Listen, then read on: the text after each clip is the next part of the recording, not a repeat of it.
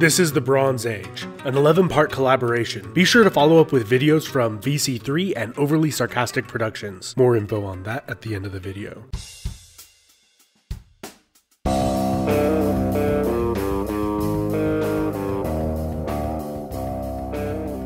The geographical region that became China has clear territorial boundaries. The Gobi Desert in the north, dense jungle in the south, while the east and west are bounded by formidable mountains and the sea. Nearly all of the land fit for agriculture in this region is centered around the floodplains surrounding the Yellow River Valley in the north and the Yangtze River in the south. The major early prehistoric cultures of China were centered around the middle and lower Yellow River Valley. These early people were the first to control the unpredictable and dangerous floods of the river valley through sophisticated irrigation techniques, drastically increasing crop yields and population of the region, and are likely the basis for the semi mythical Xia dynasty. Not long after the first bronze objects were cast in the area of the Yellow River, the Shang rose to power. They built the oldest nation state in Asia that we have significant undisputable historical proof for, as they left behind a fully formed writing system a precursor to modern Chinese, with over 3,000 characters,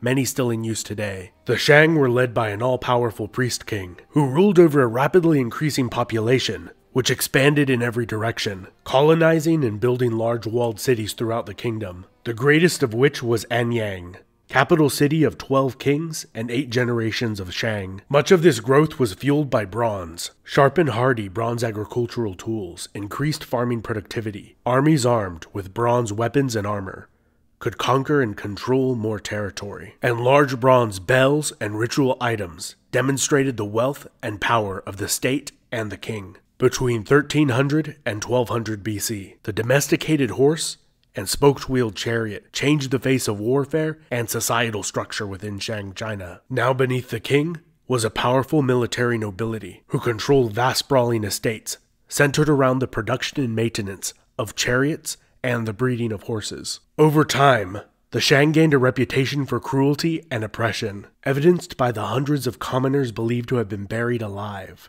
that have been found in the graves of Shang nobility. Along the banks of the Wei River, to the west of the Shang, the state of Zhou steadily grew in power as a nominal vassal state of the Shang. Around the year 1050 BC, the Zhou crossed the Yellow River with an army of 50,000 men. Initially greatly outnumbered, their fortunes drastically improved when 170,000 slaves that had been armed to protect the capital city defected and joined the Zhou. The king of Shang set his own palace on fire, dying within. They were able to defeat the Shang establishing the Zhou dynasty. Unlike the king of Shang, who ruled a very centralized state, the Zhou implemented a system based around semi independent feudal states, governed by the king's 16 brothers, other family members, and in laws. Zhou's first king Wu would only rule for three years. When his son succeeded him to the throne, a massive rebellion erupted. Shang loyalists joined together with discontented nobles, including three of the young king's uncles. However, another uncle,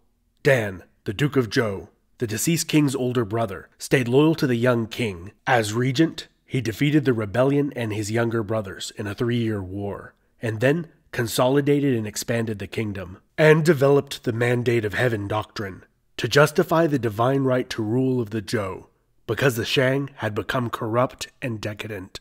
The Duke of Zhou also established a new eastern capital city at Luoyang to administer the eastern portion of the kingdom. Once the young king came of age, he gave up power, stepping down as regent, without any trouble or conflict. The Duke of Zhou is still revered today in China as an example of loyalty. The Zhou dynasty is divided into two periods the Western Zhou and the Eastern Zhou. During the Western Zhou, the kingdom was ruled from the twin capital cities of Fenghao. The Western Zhou period ended when the king was killed and the capital city was destroyed by an alliance of Western nomads and the family of one of the king's disgruntled wives. Again, the Mandate of Heaven doctrine was used to legitimize a violent change in government, which would become a reoccurring theme in much of Chinese history. The capital was moved east to Luoyang, beginning the Eastern Zhou dynasty, which is split into the Spring and Autumn and Warring States periods. The Spring and Autumn period saw a continual decline in the king's power, to the point where he only had a ceremonial role, while the marquises and dukes of Zhou gained greater autonomy, gathering large private armies and becoming fully independent states over time. During the spring and autumn period, an endless cavalcade of increasingly large scale wars between hundreds of tiny states gradually coalesced into a little over a dozen warring states. Despite the violence and chaos of this age, it was also an age of profound philosophical thought. With the philosopher Lao Tzu emphasized living in harmony with the natural world. Confucius, the founder of Confucianism believed justice, peace, and properly acting out one's role in life were the greatest aims for a person and a society. Han Fei's doctrines of legalism taught that people were selfish and needed strict restrictions placed upon them in order for society to function properly. These ideas heavily influenced Chinese bureaucratic administration for millennia to come. Sun Tzu, a military advisor and general for the state of Wu, wrote down a military treatise, The Art of War, the strategies in this book have been employed in Asian warfare ever since they were written down, and later have been heavily used in the West and even the business world, and remains a bestseller even to this day. The constant warfare of this period necessitated military innovation. The world's first ever trigger operated firearm, the crossbow, was invented around 650 BC, and soon after, it was being mass produced in all of the Chinese states. Around 600 BC,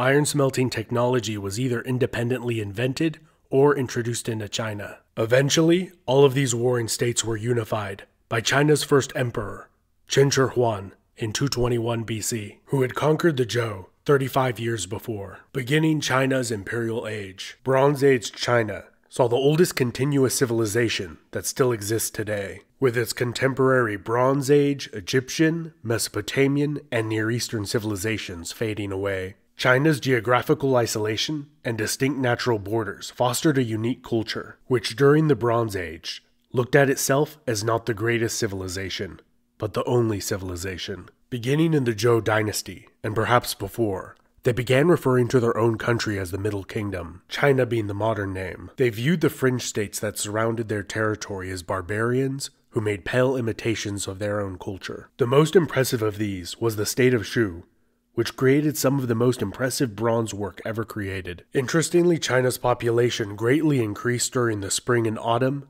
and warring states period, with these states making up over a quarter of the world's population of the time. This was largely due to advances in irrigation and farming technology. The wide implementation of coinage throughout the Eastern Zhou period facilitated a robust economy that seemed to thrive in whatever states were not being currently ravaged by the horrors of war, and saw the emergence for the first time of a large middle class in Asia, where those who were not hereditary landowners could purchase land with money they had accumulated. This has been Epimetheus, and this is one of my favorite areas in history as it is so unique. If you would like to learn more about the Bronze Age right now, Look in the description of this video and there will be a link to a playlist where 11 other channels have made videos about the Bronze Age. Right before me in the playlist is Overly Sarcastic Productions, where Blue made a fantastic video about the Mesopotamian Bronze Age. And next up right after me is VC3 Productions, which made a video about the Indus Valley Civilization, one of the most mysterious and interesting places in time.